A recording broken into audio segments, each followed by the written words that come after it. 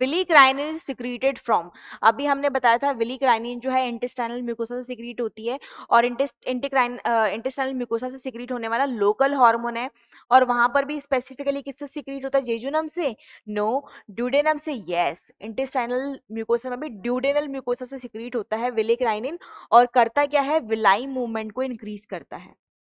Villi movement को increase करता है।